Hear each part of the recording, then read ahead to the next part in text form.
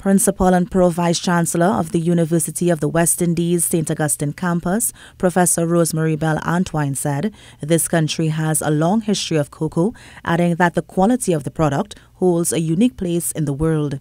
She made the comment during the laying of the foundation for the UWI Chocolate Factory.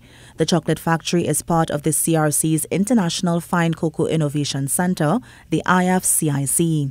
The International Fine Cocoa Innovation Center comprises a chocolate factory, the cocoa orchard, training programs for all industry, and the UWI Fine Cocoa Limited, which is the company that we created in order to commercialize our venture.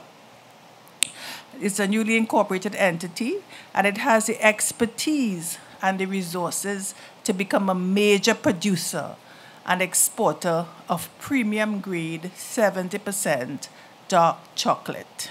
The IFCIC will also include a business incubator facility, a museum of cocoa plants, and a chocolate academy for courses in chocolate making.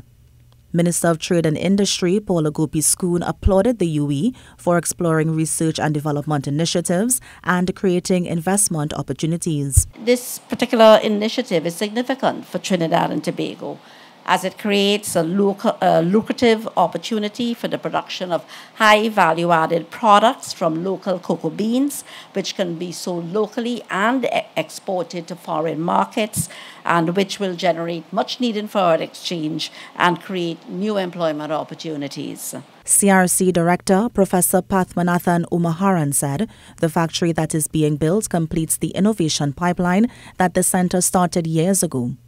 This factory now allows the businesses the capacity to upscale their production so that our local brands can become a force in the export market.